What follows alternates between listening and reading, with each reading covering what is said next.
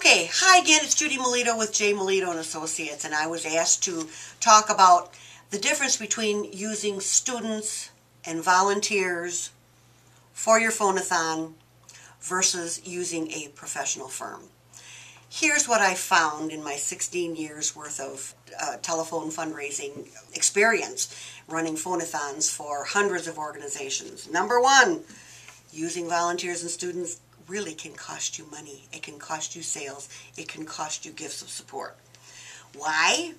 Poor training, I think, is the number one reason why sometimes students and volunteers have a tough time on the phone asking for gifts. Gee, they don't show up for their different shifts that they are supposed to be working. Uh, sometimes they have trouble asking for the gift, asking for the sale because of uh, maybe a background or experience or poor training. Or they're afraid. And I've seen time after time students and volunteers crumble when they hear the rejection and sometimes even the ridicule over the phones. It's very tough to come back after you hear a no time and time and time again.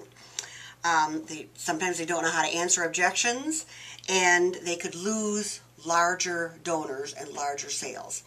I once heard one of my customers tell me, he said, uh, when I was running the student phone-a-thon at my organization, I would hear my, my young students ask for um, any gift of support. And they were talking with a $100 donor, and they were happy when the $100 donor gave them a $25 gift. That customer came to us, we did a test, we, um, we did, we, the test was between our professional telephone fundraising staff and the students, and guess who won? That customer has been with us now for about 15 years, and we're delighted to be helping them again this year. So, um, again, happy fundraising. Think about what I just told you, and if you have a need, give J. Melito and Associates a call. We'd be happy to quote your organization on your phone-a-thon. Thanks so much.